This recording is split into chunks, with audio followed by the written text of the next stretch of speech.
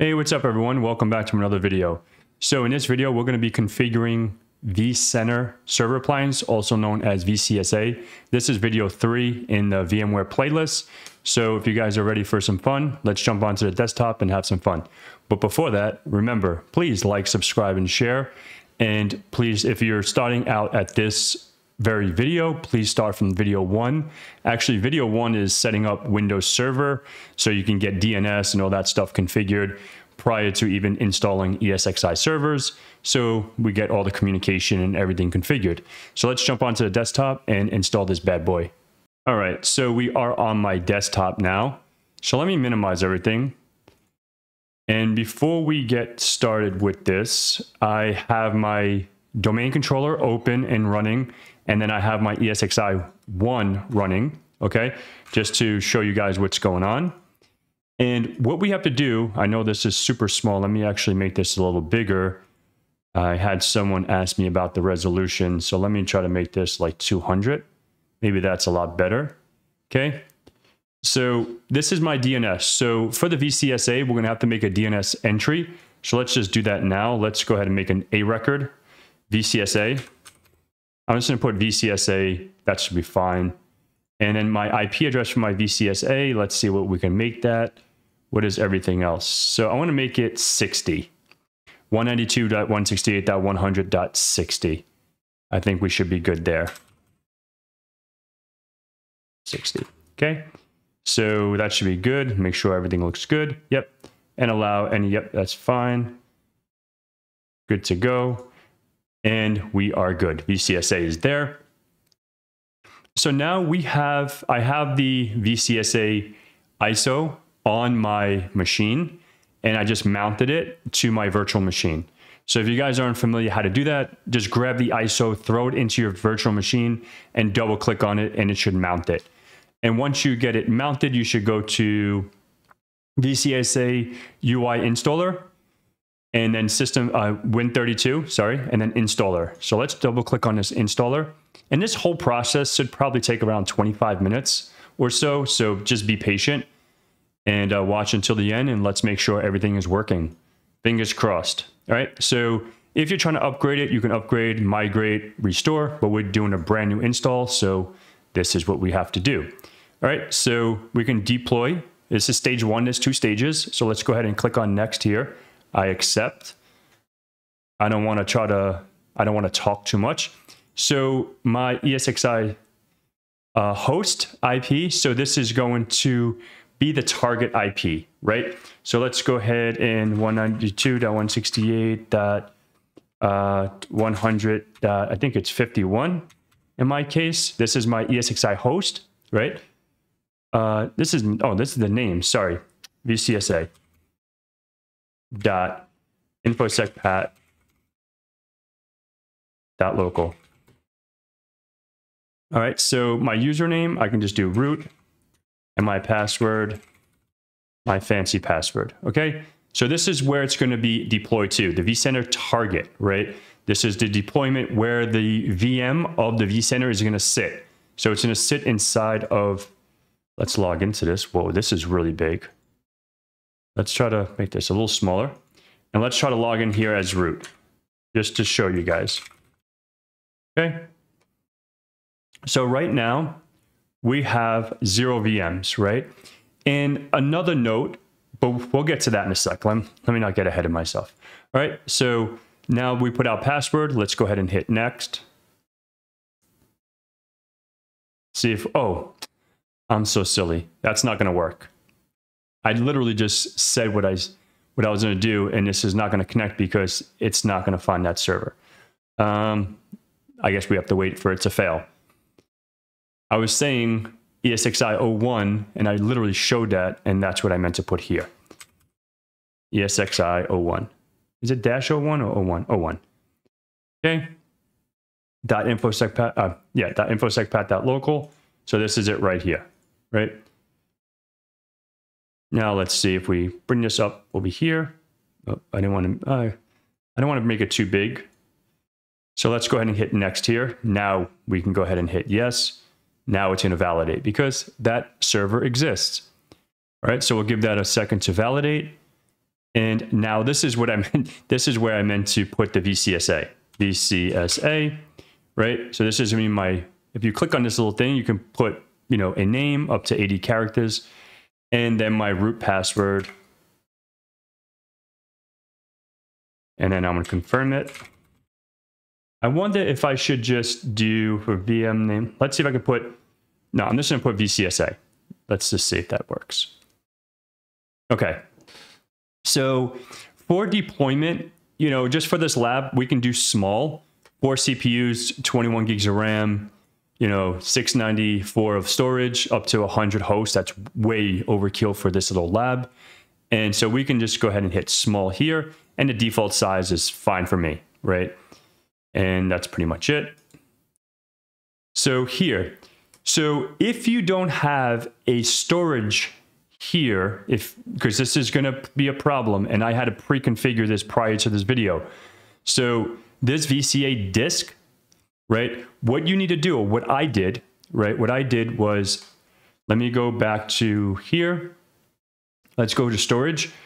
What I did, I have a USB hard drive that I plugged into my desktop and I mounted it to my uh, ESXi 01. So let me go to settings here.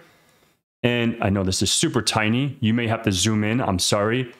Uh, so right here, we have a hard disk 2, 1,000 gigs. This is where that's pointing to, okay? So yeah. So just make sure you get the, I just named it VCSA disk for the sake of this video in this lab, okay? Just to clarify things, I just want to make sure you guys see that, okay?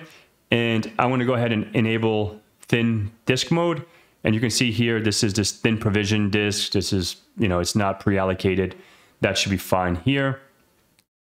Okay, let's go ahead and go to next. And we, we only have one v, uh, VM, net, uh, VM network right now, IPv4. I want to do static. And my fully qualified domain name, this is optional. This is going to be vcsa dot, so vcsa dot dot local, right? And my IP address is going to be 60, right? 192.168.100.60 because that's what I subnet mask is going to be 24 bits. And my gateway is going to be dot two. Okay, and DNS server, my first one is going to be my my uh, my DNS server, which is 100, I believe. Yep, that's that's what my DNS is. And then my secondary DNS I wonder if I can just do comma. Uh, how do I add multiple DNS servers? Uh, that's fine. All right, so the common ports, port 80, obviously HTTP, 443 for HTTPS, and we should click on next. And that looks all good in the hood. Perfect. Let's go ahead and hit finish. And this is with a part that's probably going to take about 10, 15 minutes. So at this point, I'm going to go ahead and stop the video and resume once this is done. So obviously this is not the right time. Let me see if I can fix the time here. And I, hmm, I'm in East. Is it six? Oh yeah, it is six. My bad. It's just so dark out. It feels like it's 9:30. All right, cool deal. So this is 2%. It's 624 now. Let's see how long it takes. I'll resume once it's done. Thanks, folks. All right, everyone. So I did run into some problems and I'm going to showcase what those problems were. Or I guess I'll just tell you, I'm not sure if I can showcase it. I was running multiple hypervisors on my local computer. So I had just had to disable Hyper-V, go into and remove programs, and then go turn off the feature, reboot the whole computer, and I had to start this whole thing over. If you remember, I think I started at 634 and it gave me an error and I had to start it all over. So maybe you don't have that problem, but I was testing some things out with some other hypervisors and it caused me to have an error. But now we're back up and running. Stage one is done and we can go ahead and access it here. I'm actually going to copy this. I can copy it. Let me see. And just go out to there. There we go. And hit OK advance, and we can see that we're able to get to it. Now let me log into it with my fancy password. And here we go. All right, so let, let's go ahead and continue here and start stage two. Okay, so let's move this up. Go ahead and hit next here. Time synchronization mode. I want to just sync the time with my local ESXi host. SSH access, I want to have that disabled or deactivated. I don't need that. And I'm going to try to go as quickly as possible because hopefully it doesn't hiccup again. And uh, so right now I'm just going to use vsphere.local. That should be fine for me. Uh, let me make sure. Yep. Uh, dot local. And then administrator, my password, I'll just make my fancy password. All right, so let me just take a snippet of this really quick, just so I have it. I just had to like, literally I rebooted everything. So I literally lost everything. So let me just, little snippet of this. And then let me open that in my other screen, just so I can have it for uh, reference sake. All right, so I can reference to that. Let's go ahead and hit next. Uh, I don't want to join that. That's fine. And this is everything perfect. Let's hit finished. Okay. And now we can probably see that now over here. We refresh this. We can see the same thing, right? So this is going to continue this process. And hopefully this doesn't take too long, right? So we'll pause it or uh, we'll pause the video and I'll resume once stage two is done. All right, guys. Uh, thank you. Okay, so this is stage two. This is stage two that's complete. So we can go ahead and start the, let's go ahead and just click that. We can open up there. That's fine. Let's go ahead and hit advance. Let's click continue. And we can launch this just like we did the other one. Let's go ahead and close this. So now First, let's go ahead and log into the vCenter manager, right? So I want to go ahead and log in to my vCenter manager. What did I put my, uh, I think was just root. I think. Let's check.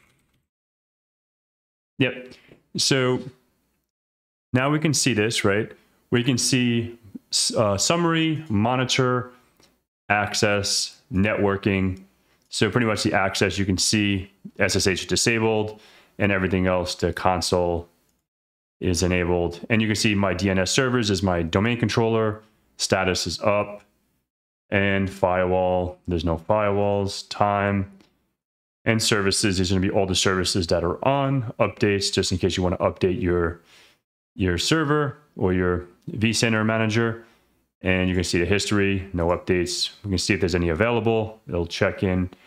And let's keep going down. Administration, uh, administration, syslog, backups, and all that good stuff, right? So this is pretty much the management. So now let's go to the vSphere. Let's launch this.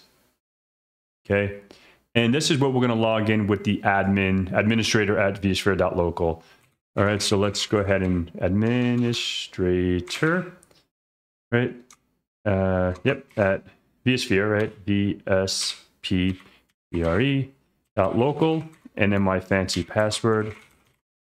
Okay. Perfect. Let's go ahead and log in. I know what I'm doing, it should log in and we should get access to our vSphere.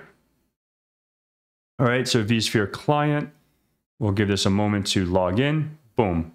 Manage licensing, we can X out of here. Let's see if we can uh, search around. So we can see that here is our uh, our client or our VM. So now let's go out to VM1 Let's uh, go ahead and refresh this. So now I'm on ESXi 1. So we have a virtual machine here, right? You see that? Is our VCSA. So we click on this, we can see the VCSA right here, right? And you can sh it'll show us how to get to it and everything. So 192.168.100.60 is my IP, and we can see everything there. All right, cool. All right, so let's X out of here. So that's our first virtual machine that we have installed. Let's come back here for a second and let's just cruise around here for a minute. So we can go to monitor, we can go to configure, uh, everything in here, like your databases, your licensing, and you know, this is just an eval just for testing, right? So uh, vCenter HA, high availability. And, you know, you can just tinker around. You can see vSAN. I don't have any vSAN set up. But then you can go to permissions. You can see everyone that has permissions, data centers. You know, we haven't had any uh, videos yet on data centers, but you can see that hosting clusters, VMs, so on and so forth, data stores, networks, etc. Right?